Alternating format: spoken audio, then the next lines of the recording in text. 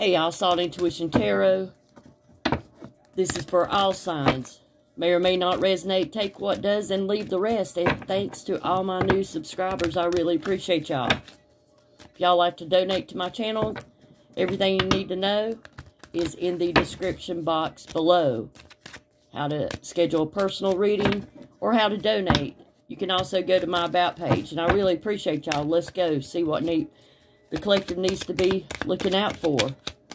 What's going on? Spirit, what's going on with my collective for the week? What's going on for the week? King of Cups and Judgment. Two of Swords. And the High Priestess in reverse. Well, it looks like a High Priestess is in reverse.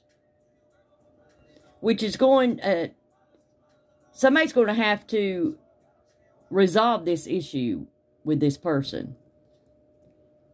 It represents an emotional, unstable person with clouded thinking, thinking and recklessness. Overly emotional attitude and impulsive actions will have negative consequences.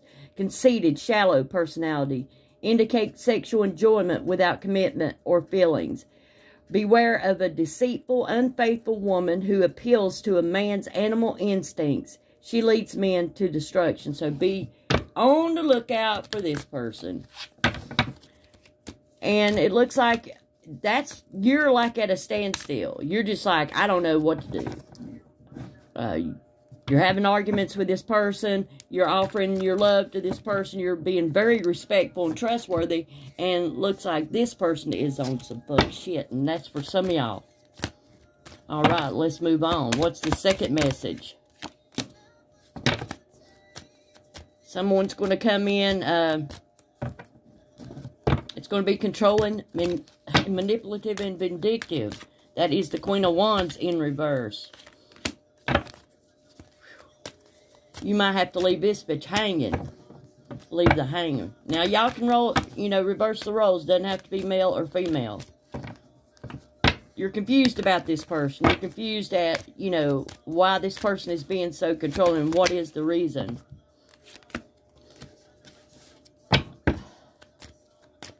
Because you're committing all your energy to someone or something else. Possibly work. Uh, and you command respect. And you get attention from others. So that person doesn't like that. Sure don't. What are you going to do about it? What's the outcome of this situation? What's the outcome of this situation? Oh my God, they're going to betray you. So you better guide your possessions because they're coming for them. All right. Lord, let's get positive note. You may have some news coming in about the person you're with not wanting to move forward with you. You're feeling like uh, it's really going to hurt you. So, let's get, who is this person? Let's clarify with the Wheel of Fortune. Clarify. Someone that you possibly are living with or have talked about moving in with, they feel like it's a, uh, you know, it's been an ongoing, constant battle with you, uh, and they want a divorce or separation. So it's end of a love affair with the Two of Cups in reverse. There's been some jealousy, misunderstanding. Uh, somebody might have been unfaithful uh, someone is unable to forgive and forget because somebody did some toxic shit up in here with the devil card. So the devil is in the details. Let me get a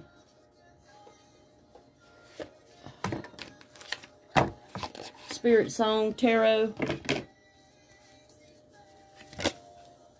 for the collective, we have two feathers, decisions and directions. So you got a lot of decisions to make, looks like, and you got to figure out what direction that you currently want to go into.